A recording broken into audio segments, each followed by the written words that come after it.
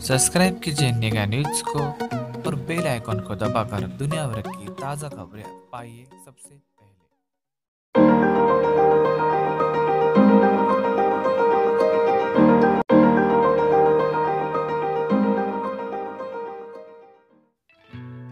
नमस्कार दोस्तों विराट कोहली ने जमाया यादगार वनडे शतक 21 साल का सूखा किया खत्म। भारत और न्यूजीलैंड के बीच खेले जा रहे वनडे मैच में विराट कोहली ने वनडे करियर का इकतीसवां शतक जमा दिया। इस सेंचुरी के साथ ही, विराट कोहली ने वनडे क्रिकेट में सबसे ज़्यादा वनडे सेंचुरी जमाने के मामले में दूसरे नंबर पर आ गए। इसके साथ ही, साथ कोहली की इस पारी में कुछ और भी खास बातें रही। चलिए आपको बताते हैं क्या क्या है वो बातें। यादगार है कोहली का ये शतक विराट कोहली की न्यूजीलैंड के खिलाफ खेली गए। ये पारी बेहद खास रही क्योंकि उन्होंने अपने 200वें वनडे मैच में शतक जमाया। इस पारी में शतक जमाने के लिए कोहली ने 111 गेंदों का सामना किया और इस दमदार पारी में उनके बले से सात चौके और शून्य एक शानदार छक्का भी लगाया। 121 रन पर आउट होने से पहले कोहली ने 125 गेंदों का सामना किया और इस शतकीय पारी में उन्होंने नौ चौके और दो छक्के भी लगाए। 200वें वनडे मैच में बनाए सबसे ज़्यादा रन वन डे क्रिकेट के 200वें मैच में शतक लगाने वाले खिलाड़ियों में विराट कोहली का नाम दूसरे नंबर पर आ गया है।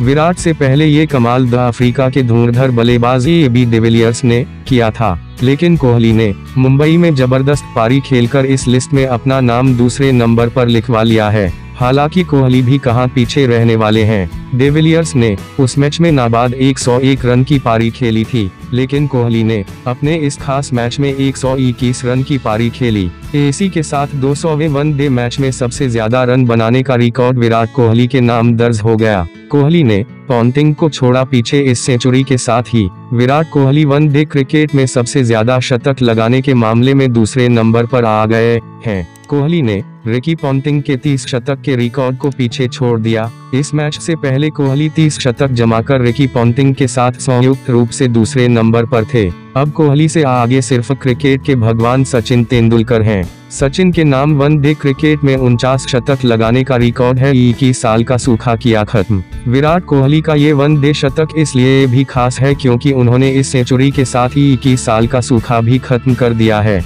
आपको बता दें कि वांगनेड़े के मैदान पर किसी भी भारतीय बल्लेबाज ने वनडे क्रिकेट में इक्कीस साल बाद शतक जमाया है। इससे पहले उन्नीस सौ छियानवे में सचिन तेंदुलकर ने वांगनेड़े में शतक जमाया था। सचिन ने द अफ्रीका के खिलाफ खेले गए उस मैच में 114 रन की पारी खेली थी और तब के बाद से अब तक कोई भी भारतीय बल्लेबाज इस मैदान पर वनडे क्रिकेट में सैकड़ा नहीं जमा पाया था। लेकिन कोहली ने न्यूजीलैंड के खिलाफ सीरीज़ के पहले मैच में शतक जमाकर इस सूखे को खत्म कर दिया। आपको ये वीडियो पसंद आया तो शेयर और लाइक कमेंट करें और ऐसे ही धमाकेदार खबरों के लिए हमारे चैनल को सब्सक्राइब करना भूलें।